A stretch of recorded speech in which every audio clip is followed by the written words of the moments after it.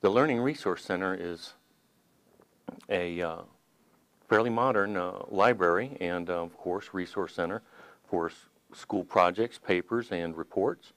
Uh, You have access to every library within North Carolina through the Learning Resource Center alone, right here on the main campus.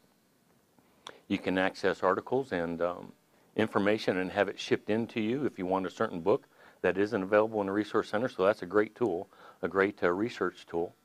And it also has a lot of, uh, of computers and PCs that the students are able to use with all, with all the latest updated software on it. So that's a great, it's a great area to do research and to get together with fellow students and do study groups and work groups.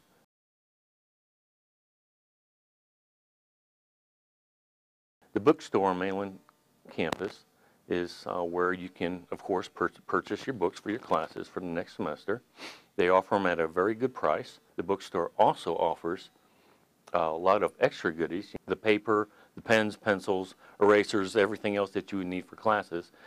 And they also have like book bags and um, coffee cups and gifts and sweatshirts. So it's a great little uh, asset to have right there, right on board the campus that you can go into on a moment's notice if you need some graph paper or notebook paper and so forth.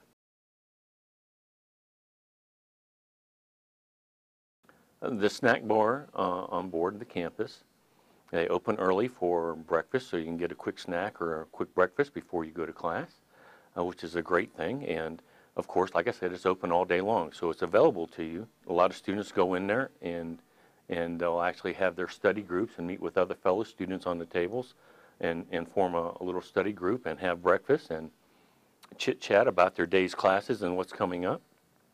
Uh, the food there is, is fairly inexpensive for a fast food place. and they do offer quite a variety of healthy snacks.